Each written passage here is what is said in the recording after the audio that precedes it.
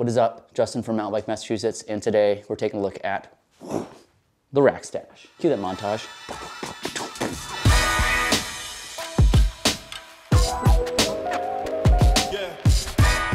Like the name says, the rack stash is a way to stash your rack.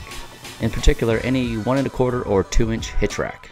The idea is that you can store your rack vertically and flush against the wall.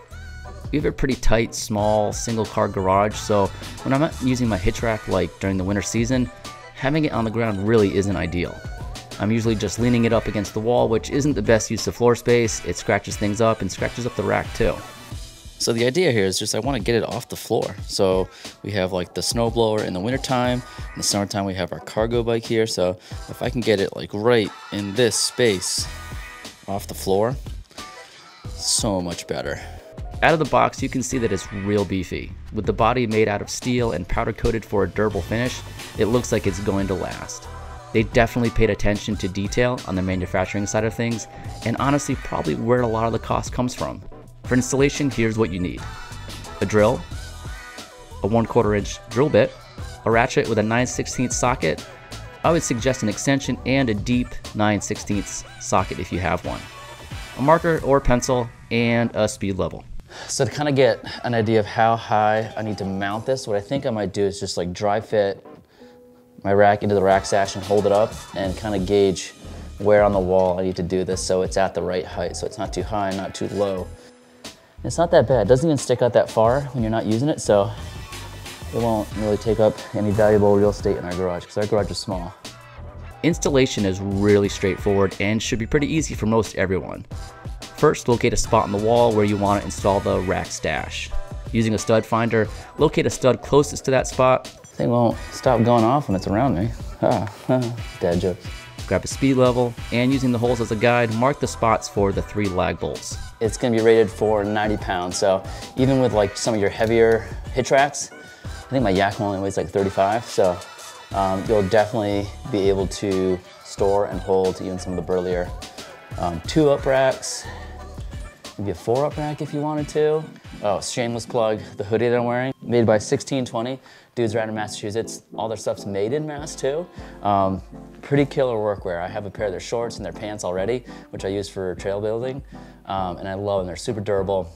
Lifetime guarantee too, so pay a little extra money, but you have a peace of mind that if anything goes wrong with it, if you have to repair it, send it to them, they'll fix it.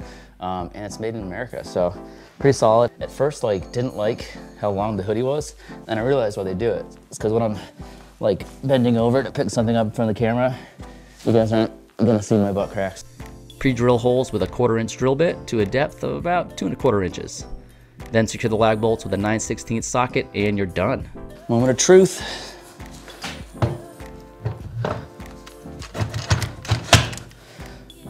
Oh yeah. That is super sweet. It's enough out of the way. I think I can still even do like, I can totally do pull-ups still here too. That's perfect. And if you wanna like secure your rack, even for like security reasons, like you put your hitch pin, if you have a locking pin, it goes in there. Um, and here I can just basically just tighten up my, the cam system and lock it into the wall. The hitch blocks that, that third bolt in here so no one could like unbolt it from the wall and take the whole thing out. You could even run like a cable lock through these accessory holes um, if you had stuff that was in here you want to lock to the wall. So little added bonus security measure with the rack stash. Pretty pumped.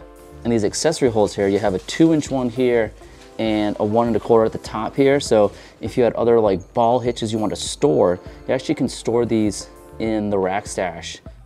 And one added bonus of installing the rack stash is that it, it can actually pull some double duty. With it being rated for 90 pounds, you could store your bike on the rack if you have the room. Or if you need a temporary bike stand, you can do some minor repairs with your bike in the rack.